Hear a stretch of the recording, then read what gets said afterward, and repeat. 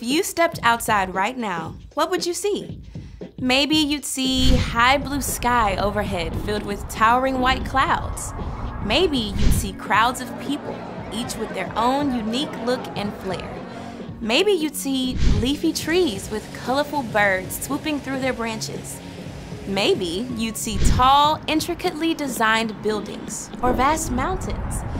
From the rough mosaic bark on a tree to the fine lines of blood vessels just beneath your skin, every bit of it is God's handiwork, or the work of people God created and inspired. Paul writes in his letter to the church in Rome Ever since the world was created, it has been possible to see the qualities of God that are not seen.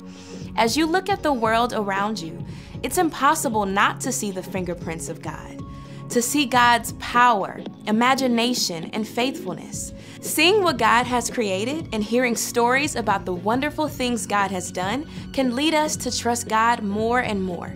And when you trust God, you're ready to make a move. As you begin to rely on God to help you face your challenges each day, others can see God at work. That's why faith is an amazing way to worship God with your life. Because worship is about more than just singing loud, it's all about living loud.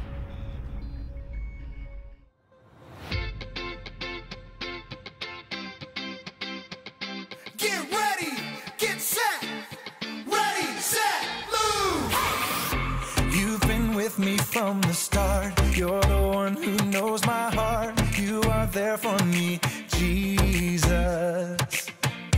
You are showing me the way, love and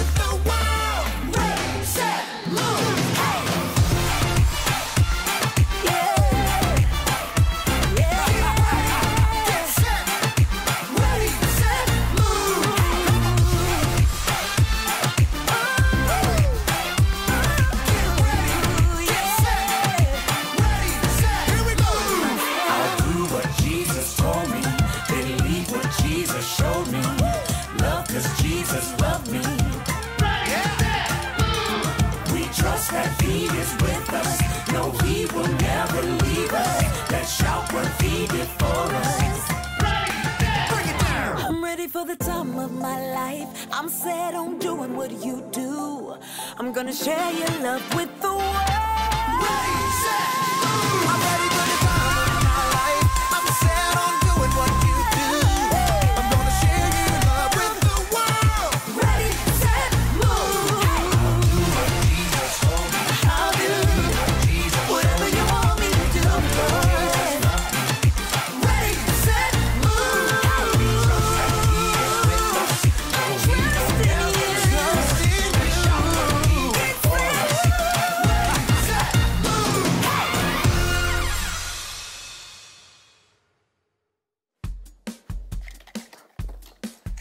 Hey everybody, welcome to the Story Lab. This week we're talking about faith while we take a look at the story of someone who had to lose his sight to see.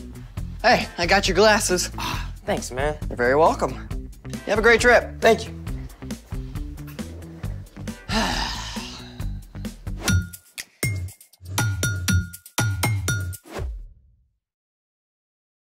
Hey, I'm Carter. And I'm Zeke. we're talking about faith. Which is trusting in what you can't see because of what you can see. Are you ready to move? Well, I want to see what's in the box. Me too. You mean you don't know? Not a clue. Wait, What? mysterious box? No label? It's a scary movie waiting to happen. You're right. Let's take precautions. Okay, you ready? On the count of 11. 1, 2, 3, 4, 5, 6, 7, 8, 9, 10. Zeke, 11! Hmm?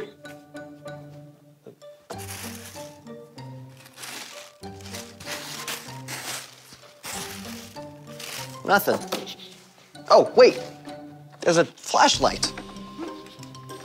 And not a very good one. hold on. This isn't just any flashlight. It's a black light. Like what they use at crime scenes? Oh, it can be used for lots of stuff. Well, how does it work? A black light gives off ultraviolet light that is invisible to humans. Certain fluorescent substances absorb the ultraviolet light and re emit it at a different wavelength, making the light visible and the material appear to glow. Cool. I wonder what we can see with this. You're wearing a white shirt. Watch this. Lights. Wow. Whoa, Dude, look at your shirt. that's awesome. Oh, your teeth looks ridiculous. It's like I'm radioactive. What else can we see? Whoa, glowing fruit. That is totally awesome. Ripe bananas get fluorescent so that they can attract animals like fruit bats that don't see the normal range of light. Ah, God must have a wild imagination to come up with that. Hey, there's a note in there. It's blank. You really think so?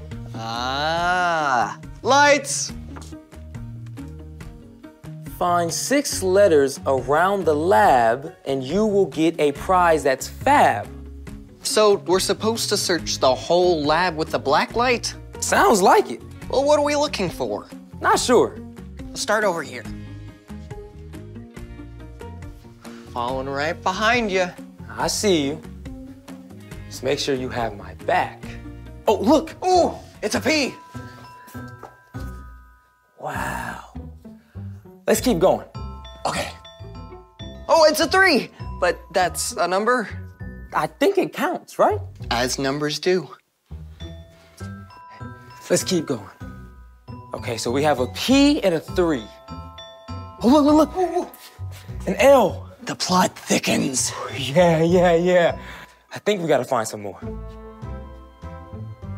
Ooh, right behind you.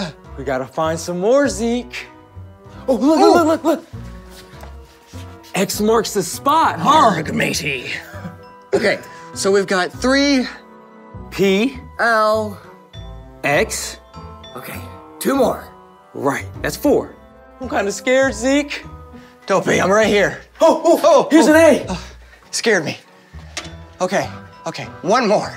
One more. What have we got so far? Uh, uh, three P L X A. One more. One more. Where is it? You find it. No, no, no, no, no, I couldn't, I couldn't. You you haven't found one yet. Oh, okay. Is it on the ground? No, no, no. Is it on the ceiling? No. Ooh, you're moving too fast. Oh, sorry, sorry, sorry. Where are you? Oh, there it is. Ooh, ooh, ooh. Let's see. Okay, okay, so that's that's uh that's six. Right. What have we got? We're done. We're done. Okay. Uh, three Uh, uh P. L Uh A. X. Uh C. That's all of them. Th- three. I, I said that. We're done. We're done. Finally. Lights. Okay, that was six. What have we got? Uh, the three L exact. What if we rearrange the letters? Nope. Nope. Oh, C3PO. You know. Sir, the possibility of us successfully navigating the asteroid field is approximately 3,720 to 1. There's no O. Wait, wait, let's see what it looks like with the 3 and the X put together. Wait, I got it. Oh, God, clap three times. So we're supposed to clap three times? You can do the honors.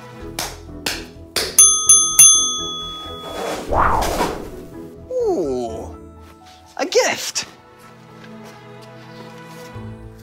What could be inside? I have no idea. You, you know, open it. No, you open it.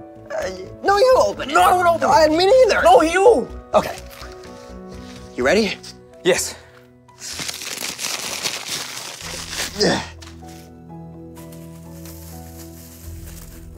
Ooh, glow sticks. I know just what to do with these. So it's, yes. Oh.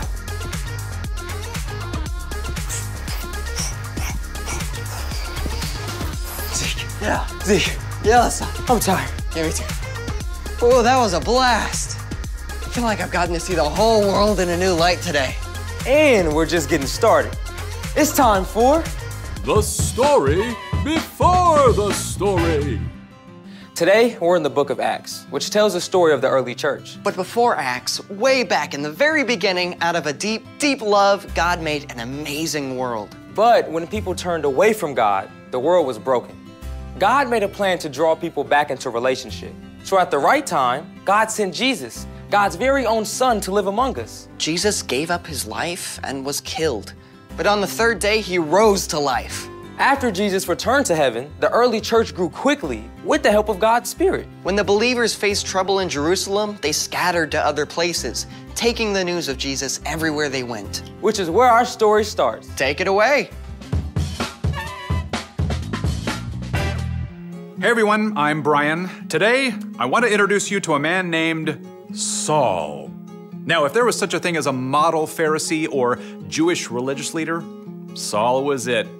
Saul, also known as Paul, was born as a Roman citizen, which gave him special privileges. Growing up, he studied the scriptures until he knew them inside and out. As the early church grew, Saul was just as upset as the other religious leaders.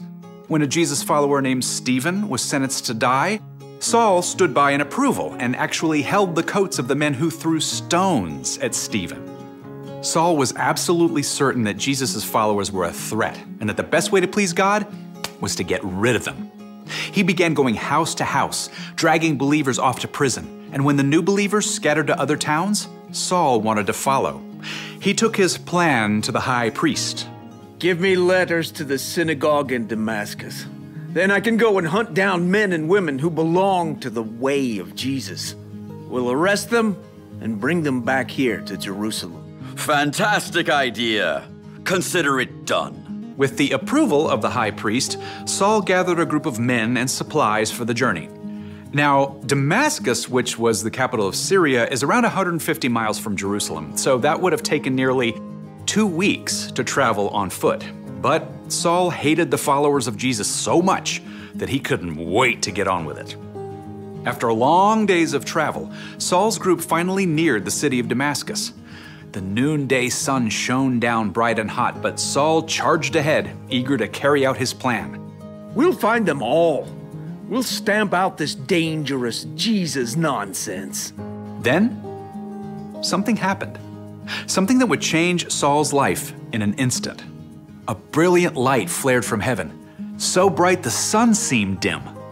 A voice spoke from the light Saul, Saul, why are you opposing me? Who are you, Lord? I am Jesus. I'm the one you are opposing. Okay, now imagine for a moment that you're Saul. You thought Jesus was just a troublemaker who was killed, dead and gone. Yet now he's alive, speaking to you from a blaze of light. It's like your whole world tips upside down in an instant. Ah! Ah! Whew. And Jesus wasn't done yet with what he had to say to Saul. Now get up and go into the city. There you will be told what you must do. The men with Saul saw the light too, and heard a sound. What is that? It's like thunder. As the light faded, Saul stood and opened his eyes. I. I can't see. Saul had been in full command, yet now he was helpless. Men from the group led him to a home in Damascus, and for three days, still blind, Saul prayed to God. During this time, he didn't even eat or drink anything. And that's where we'll leave it for today. The end. Ooh, a cliffhanger. You're right, it's to be continued. You cannot just leave everyone hanging like this. Okay, spoiler alert Saul's meeting with Jesus did change him. Later, Saul regained his sight, and instead of trying to wipe out Jesus' followers, Saul became one. So, what's our part in the story? Well, you probably won't hear Jesus ever speak to you from a brilliant light. Saul's perspective, his way of seeing the world, was changed in an instant. But as you begin to learn who Jesus is and choose to follow him, your vision too will start to shift. You'll start to see things in a new light. Like the stuff that happens to you. That's true. When you know Jesus, you discover that you are a child of God and that God loves you more than you can imagine. Everything that happens to you, even the hard stuff, becomes an opportunity to grow and become more like Jesus. Knowing Jesus can change how you see other people too. Yeah, it's like you get this supervision to look at your class bully or your annoying little cousin and see that they're made in God's image too. And they deserve your love and respect. Knowing Jesus means that you can pause at any moment in your day and ask Jesus to give you his perspective. The more you do, the more Jesus will show you ways to love God and love people in everything you do. Yep, I think you guys are seeing the light. See you next time. So, here's the thing knowing Jesus changes how you see things. Hey, do you think those glow sticks have any light left?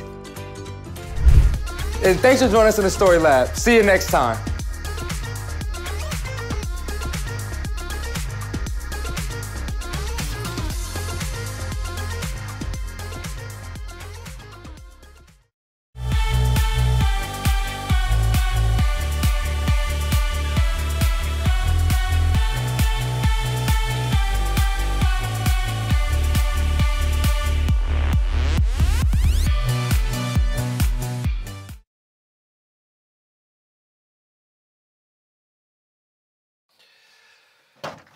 Okay.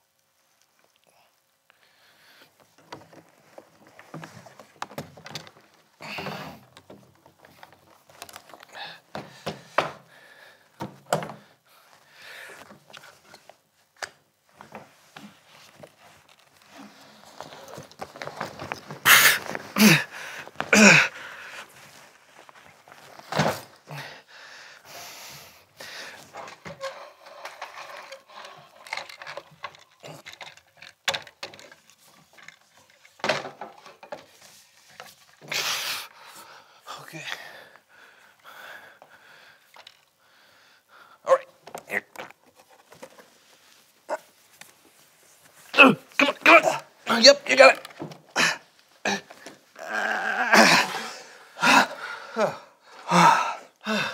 How was the trip?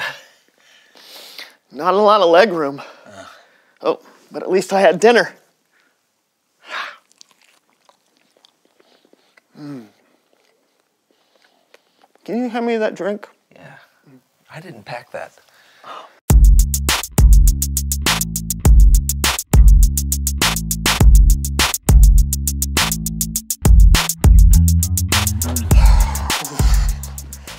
I'm so sorry I'm late, John. I am having the worst day. Great. Oh, we started already. Hi, everybody. I'm Brandon, and uh, this is the So and So Show. Uh, normally, I'm joined by my co host, John, but today it's, I guess, it's just me until we. Oh, here he is. Wow. That's incredible. Oh, it's amazing. my guy. How you right. doing Okay. today? Well, uh, actually, uh, thanks for that, but actually, I'm in a pretty bad mood. so- Oh, what's wrong? Well, you know, the weather outside is just awful today. And I, the, the top fell off of my lunch and I spilled half of it. And I cut my fingernails too close, so now my cuticles hurt. So you- ow! Oh, why, why I'm would you- sorry. I'm sorry, pal. I, you know what though? I've got something that can make everything better today. Okay. Do you remember a few years back when I made those rose-colored glasses? Yeah, yeah. Didn't those get you into a lot of trouble? Uh, uh, flashback. Ow. Let's hop slosh! John loses. Oh, oh!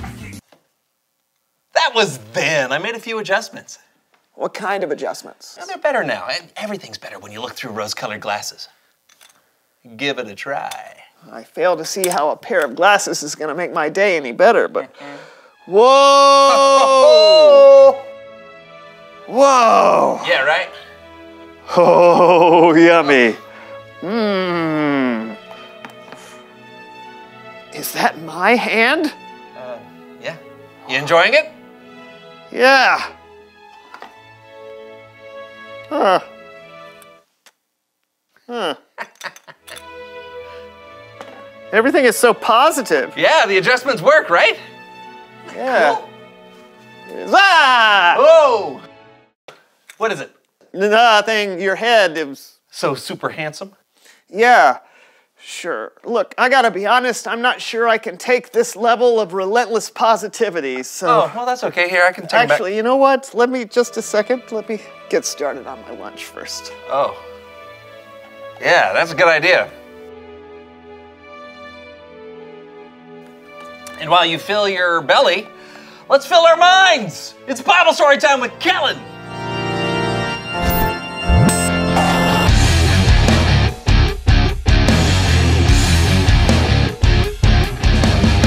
Hey, fellas. Enjoying your lunch there, Brandon? Yeah. Sorry, Kellen. I just want to get finished before I give John these glasses back. What? Uh, it would really avoid a lot of confusion if you would watch the show before your segment, Kellen. I usually do, but sometimes I like the confusion. That's fair. Uh, what, what, are we, what are we talking about today, Kellen? Well, we're going to be looking at the day the Apostle Paul became a follower of Jesus. You may or may not know, but Paul is a giant figure in the Bible. Ah!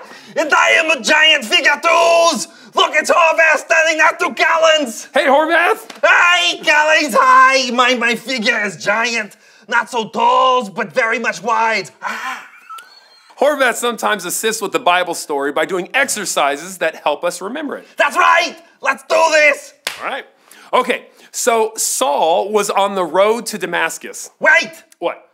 Who is Saul's? I thought I thought you were telling the story of Opossum Paul. Oh, no, no. I mean, yes, yes. The apostle Paul is who we're talking about. But he had a couple of different names. Some places he was called Paul, and other places he was called Saul. So Paul and Saul are the same peoples? That's right. I understand. Are you sure? First exercise! Okay, the Saul Paul shuffle. First, you spread your legs, and then your arms apart, like this. Then you shuffle this way. I'm Saul. Then you do a 375 degree turn. Then you shuffle back. I'm Paul. We do this 373 five times degrees. Wait, what? Go! One. Four. Juice Newton. 375 degrees. All right, what did Paul Saul do next? Well, let's just go with Saul today. Let's do this, Okay. Saul. Okay. Before he met Jesus, Saul was actually a pretty scary guy. He would seek out followers of Jesus and have them thrown in jail. That's bad. Yes, it was. You see, Saul didn't believe Jesus was who he said he was. So, one day, Saul and some of his friends set out on the road to Damascus where they were hoping to find Jesus followers to arrest. Ah! Second exercise! The Damascus 5K in place, half marathon, fun run! That's not fun! We run in place for 5K miles! Go! One, 17. Goose down pillow. Austin Pfeffer Incorporated. That's not a word. Bluto. Five miles, Kay. Where are we? Are we in Damascus yet, Kellens? Are we? No, we, we are not. Oh. But Saul, at this point, Saul and his friends were traveling on the road to Damascus when suddenly a huge light from heaven flashed around Saul. Oh, I know what that is. He's doing the final pose down at the Mr. Galaxticon Muscle Expo.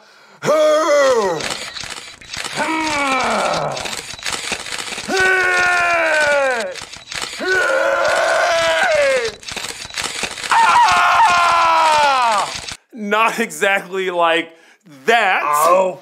It was probably more like this. Ah! Kellen, where are you? Ah, I'm scared. Yeah, that's probably how Saul was feeling. Ah, So, you okay? ah, I can't see. Oh no. Well, at that point, Saul fell to the ground. Then he heard a voice come from everywhere that said, Huh? Saul, Saul, why are you opposing me? The voice is coming from the canyons. I'm scared. Horvath, it's just it's it's just a special effect. Uh, okay.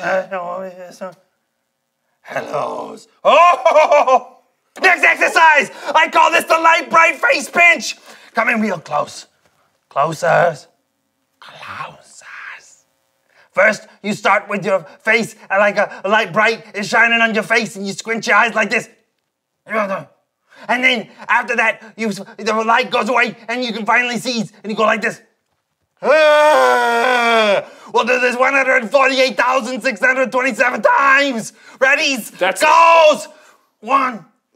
Ah! Two. Ah! Five.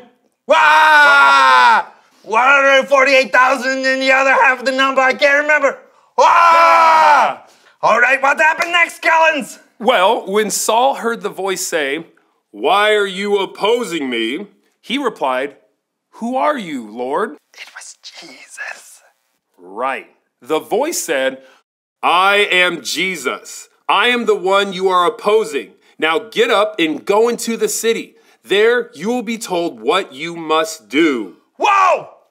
After that, Saul got up and opened his eyes, but he couldn't see a thing. Not even his shoes. Nothing. Whoa! His friends had to lead him into the city of Damascus. Saul couldn't see. For three days, he didn't eat or drink anything. What happened next? What happened next? Did he eat on the fourth days? At least some sandwiches? Or a hot pocket? Well, oh, that's good. But actually, we'll talk about what else happened to Saul next time. Oh no, a cliffhangers! I love it. Next exercise, the cliffhanger. It's a great way to build up your steps. Ah, I'm cliffhangings. Ah! Okay, spoiler alert. Saul, who was also called Paul, ends up being one of the good guys. After he met Jesus, it changed how he saw everything. His faith was so great. He would go on to write a lot of what we call the New Testament. That's the thing about knowing Jesus. He can help you see things in a whole new way. Help me! Ah! Um, you're you're not really. Ah no! There's I'm there's nothing- Oh, you okay. cut off the cliff! Oh! You know what? I'll see you guys next time with more of Paul's story. Ah, I'm still falling! Oh, he's really going down. Ah. All right, Brandon, can I have my glasses back? Sure.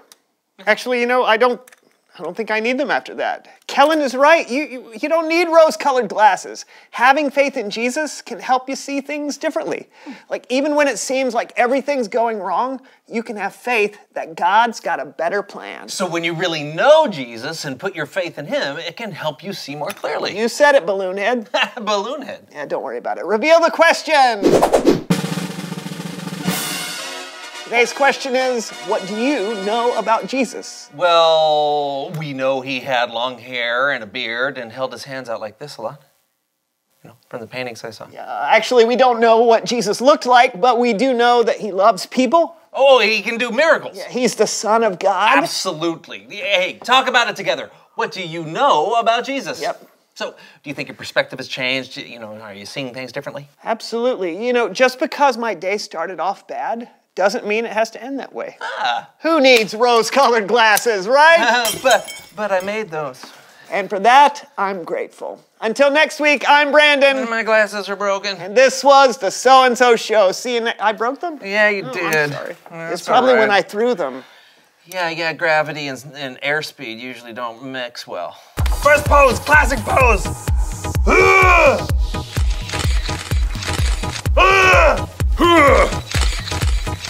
I call this one uh, uh, confused which cereal to get at the grocery store.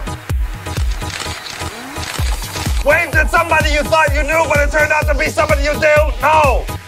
Hey! oh.